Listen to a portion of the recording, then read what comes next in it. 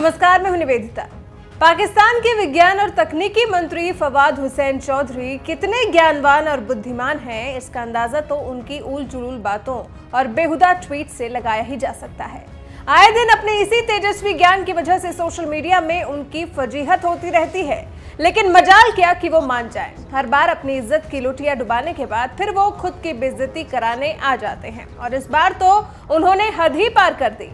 जम्मू कश्मीर को लेकर उनकी बौखलाहट अब भी कम होने का नाम नहीं ले रही है। इसलिए फवाद के ज्ञान की धारा एक बार फिर फूट गई। वो भी भरी सभा में। फवाद ने एक सभा को संबोधित करते हुए कहा कि पाकिस्तान कश्मीर में सैटेलाइट के ज़रिए लोगों को इंटरनेट मुहैया कराएगा। उन्होंने कहा कि आज के दौर में इंटरनेट लोगों का मौलिक अधिकार है।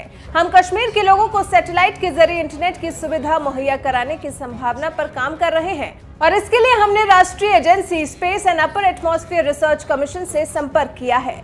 चलिए आपको फवाद का नया नया ज्ञान सुनाते हैं। आज मैंने स्पार्को को खत लिखा है। उसमें मैंने ये उनसे अर्ज़ किया है कि सौ दिन से ज़्यादा आज हो गए हैं और जो मकबूजा कश्मीर है, वहाँ के अवाम को इंटरनेट की सहूलत मैसर नहीं है।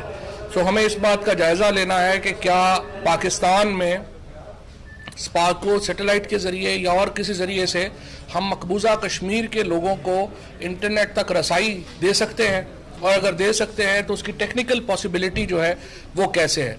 इंटरनेट जो है वो आजकल दुनिया उसको एक फंडामेंटल राइट मानती है बुनियादी हक मानती है लोगों का इंसानों का।